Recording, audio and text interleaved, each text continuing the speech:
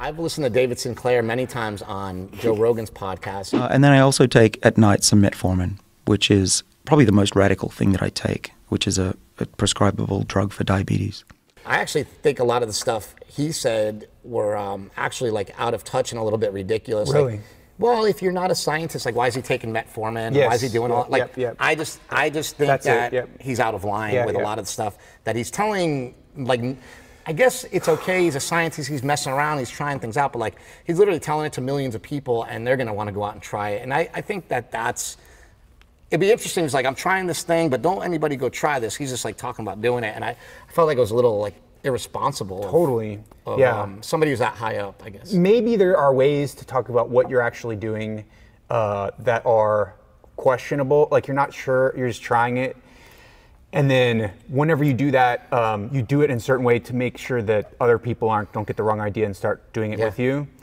And maybe that's good. But yeah, he whenever he was doing that, he wasn't trying that On- very hard. On the flip side, I, I don't know who- if you know who he is, but I love people like Dr. Tony Huge, Mm. who's like, I'm trying every steroid and SARM on the planet, and I'm going to tell you what it does. And for I- some I like reason, that too, you know? I want to see it. Like, Yeah. even though I know like it's not great that he's telling people this, and I, I know him and he's a friend of mine and stuff like that, but like I'm kind of like you're a little irresponsible and dangerous, but you're also awesome because you're giving.